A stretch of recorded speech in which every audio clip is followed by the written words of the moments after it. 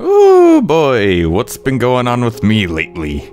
If you were on my channel between the time of 11 a.m. and 11:10 a.m., then you'd know there was this very odd video that popped up.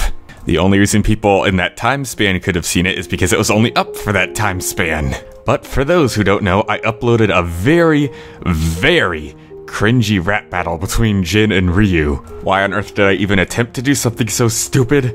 I do have a reason. If you're on my Google Plus community, you may have noticed that I posted something last night. I was just discussing the state of my channel and where I plan to go in the future, or if I even have plans to go somewhere in the future. But I thought I'd read it here to give you all a heads up and not just the people who stick to me on my community. As much as I hate this and don't want to say it, I don't think Free to Smash will be happening anytime soon. I've lost motivation for it, nobody seemed to be hyped for it past the first week of its announcement. And there's a lack of auditions for key female characters. Yeah, there are some, but not enough. It's not just free to smash though. Fictional Fights has also been suffering quite a bit lately, with the, all the Jin vs Sasuke delays, and now I'm having trouble finding someone for Sora vs Dante. I didn't think it would be possible, but I actually think it might be time to put fictional fights to rest soon. I dragged the show to a point to where it relies on too many people to continue.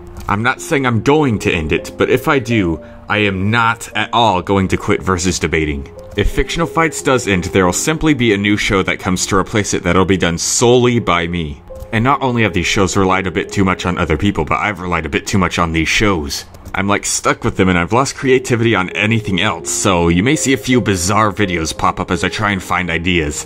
That cringy rap battle was one of them.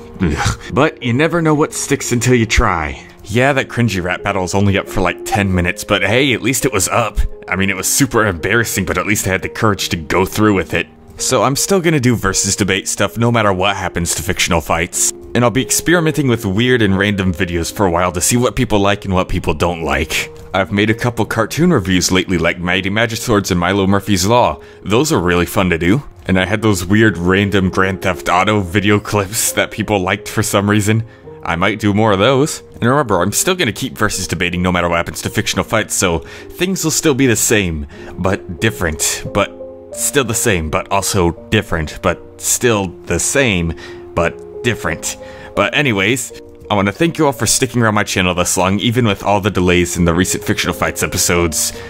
And and if you're wondering about Jin versus Sasuke, I already have the full thing edited. There's just no animation, so if something does happen to fictional fights and it does end, I will release Jin versus Sasuke just as it is because you guys have still been waiting for it and I still worked really hard on it. I'm not just gonna let that baby die. But again, thank you all for sticking around and I hope you stick around longer in the future no matter how much this channel goes through. I love you all. now let's get different, but the same, but different, but still the same, but mostly different with some of the same, but different, but also kind of similar with a slight bit of difference, but it's the same thing that's different from this similarity.